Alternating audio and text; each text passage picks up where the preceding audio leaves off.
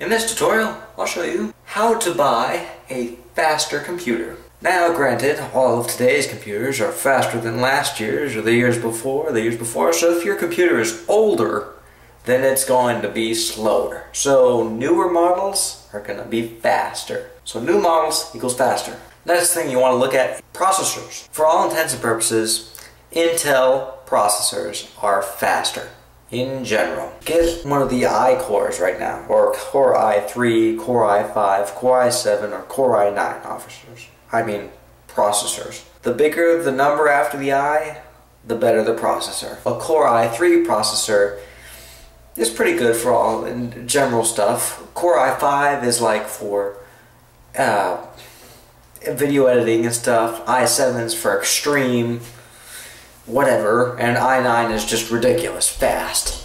So get a, computer with an Intel processor, one of the Core i3, i5, i7, or i9s. The bigger the number, the faster it is. Next thing you want to think about is processor speed. When you see CPU 2.7 gigahertz, what do you think of? Uh, the bigger the gigahertz, the faster the computer will be. If you see a computer that has a 3 gigahertz processor and one that says 3.6 gigahertz, get the 3.6 gigahertz. It's going to be faster. Last thing you need to look at is RAM.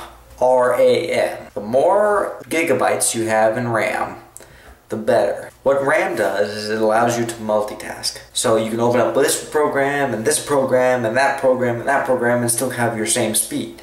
You can still be fast with less RAM. You know, that's all part of the processor speed, but you can't open up so many programs. So for all intents and purposes, RAM is more RAM is better. More RAM is better. Last but not least, the number of cores in your processor. If you if you see this commercial, you know the new Pentium IR blah blah blah blah dual core processor or quad core processor or hexa core processor. The more cores, the better, faster. With those things in mind, go get yourself a fast computer. Have a nice day.